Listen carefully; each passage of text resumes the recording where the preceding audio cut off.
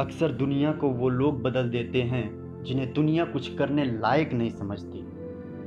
एक बार की बात है, एक नगर में एक मशहूर चित्रकार रहता था। चित्रकार ने एक बहुत सुंदर तस्वीर बनाई और उसे नगर के चौराहे में लगा दिया और नीचे लिख दिया था कि जिस किसी को जहाँ भी इस तस्वीर में कमी नज़र आए, वो वहाँ निशान लगा दे। जब उसने शाम को तस्वीर देखी, उसकी पूरी तस्वीर निशानों से ख़राब हो चुकी थी।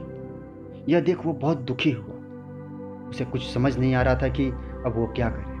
बेचारा दुखी होकर बैठा हुआ था। तभी उसका एक मित्र उससे मिलने आया और उसके दुखी होने का कारण पूछा। तो उसने उसे पूरी घटना बताई। उसने कहा, एक काम करो, कल दूसरी तस्वीर बनाना और उसमें लिखना कि जिस किसी को इस तस्वीर में जहाँ कहीं भी कोई कमी नज़र आए, उसे सही कर दे। उसने अगले दिन यही किया। शाम को जब उसने अपनी तस्वीर देखी तो उसने देखा कि तस्वीर पर किसी ने कुछ नहीं किया। वह संसार की रीति समझ गया।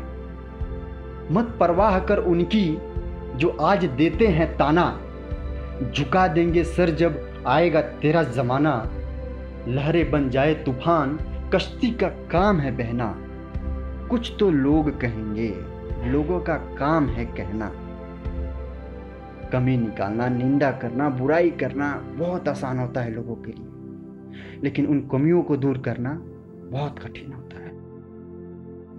जब दुनिया कह रही होती है, हार मान लो। बहुत वक्त दे दिया तुमने इसके पीछे। अब लौट जाओ। तो आशा धीरे से कान में कहती है कि एक बार, सिर्फ़ एक बार और प्रयास कर लो। शायद तुम अपने मुकाम तक पहुँच जाओगे और हमें अपने मुकाम तक पहुँचने के लिए सिर्फ़ उसी एक प्रयास की ज़रूरत होती है। अगर आपको ये वीडियो अच्छी लगी तो लाइक करें और हमारे साथ जुड़े रहने के लिए सब्सक्राइब करके बेल आइकन को ज़रूर दबाएँ। तब तक के लिए गुड बाय।